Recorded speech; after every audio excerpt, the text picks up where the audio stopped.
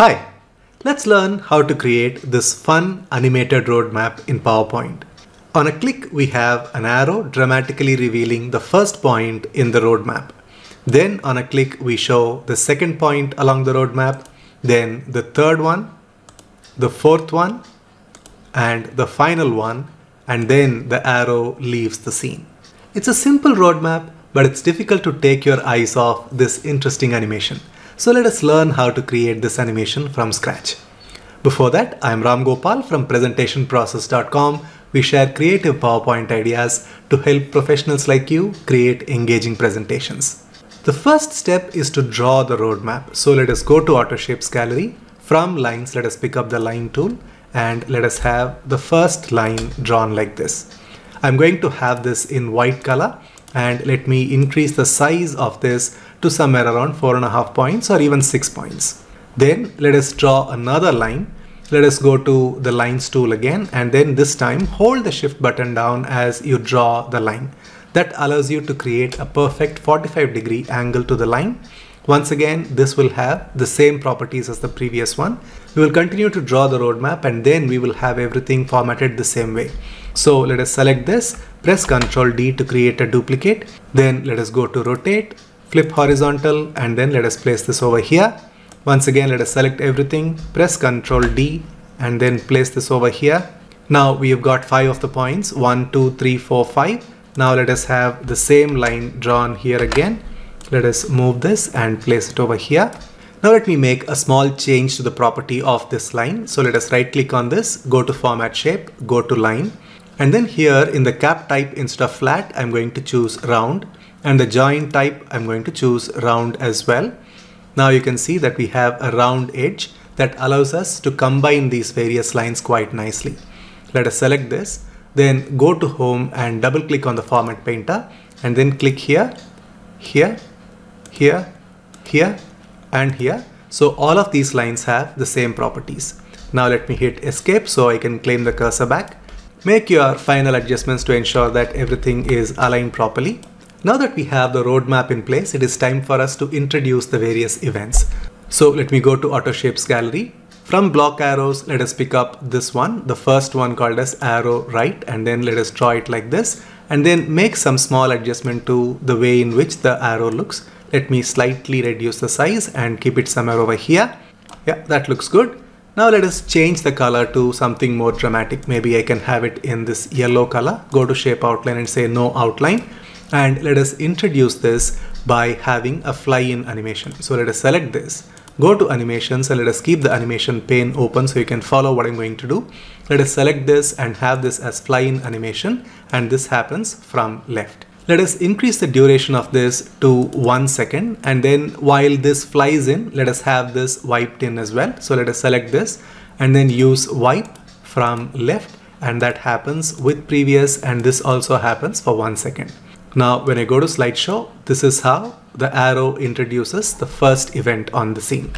Now let us go to home and let us pick up the text box tool and let us write some text and this text wipes right after this arrow comes into place. So let us select this, go to animations and then say wipe from top and this happens after previous.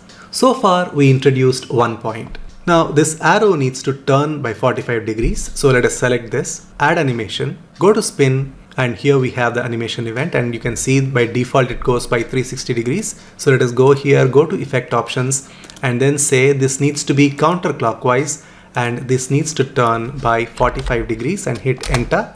Hitting enter is important otherwise the entry won't be accepted. Now we have 45 degree counterclockwise and then we say okay. Now it turns like that.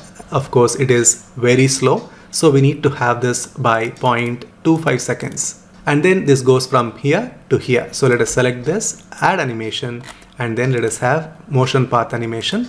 Let us have it move up and then the end point of this needs to be at this point here. Now we need to go here and reduce the duration to one second and we need to have this happen after previous. And while this moves from here to here we need to have this line appear as well. So let us go to wipe and say from left. And this also happens for one second. And this happens with previous. So this turns around and it moves from here to here and the line wipes in. And the result looks like this. So this is the first event, turns and then it reveals the second event. Now right after that we need to select this, press Ctrl D to create a duplicate and then you place this over here and now you've got your second point revealed. The next step is to have it move from here to here. Once again it's fairly simple. Let us select this, add animation and this time it needs to spin by 90 degrees. So let us select this, go to effect options, it is clockwise and we need to have quarter spin. And this needs to turn for 0.25 seconds. So let us go here and say 0.25 seconds. And right after that, this moves from here to here. So let us select this, add animation, and then once again go to motion path, line animation, and we can have the starting point as this one where the previous animation ended and the end point needs to be here and this needs to happen after previous for a duration of one second and hit enter and then we have the line wiping in from top and this happens with previous for one second and hit enter. And then we have the same text once again presented here. This is a placeholder. Now when I go to slideshow on a click I introduce the first point like this and then the second point like this and then the third point like this. Of course this seems to be a little too close so we can move it a little up and we can also have this wipe from bottom. So it is unobtrusive. Now when I go to slideshow this is perfect. This is beautiful. And then we have the next point shown. So once you have this much done it is only a matter of continuing to have as many events along the path as you need. With a bit of creativity, you can make your timelines quite interesting.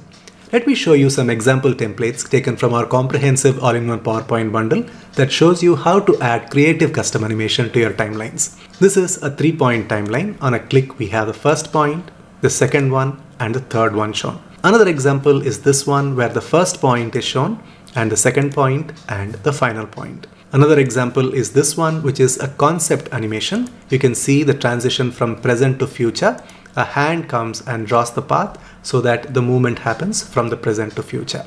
Another example is this one where we showcase three pictures for this timeline. We show the second picture and the third picture. Of course, you can replace these pictures with your own picture quite easily. The last example is this one where we show four milestones in a very interesting fashion. On a click, we shed the light on the road. Then we have the second milestone, the third milestone and the fourth milestone shown. If you like these templates, there are 4200 more available in our comprehensive all-in-one PowerPoint bundle. You can click on the link in the description box below the video and check out more details about this beautiful product. So go ahead, click on the link in the description box below the video and check out our comprehensive all-in-one PowerPoint bundle. I'll see you in the next video.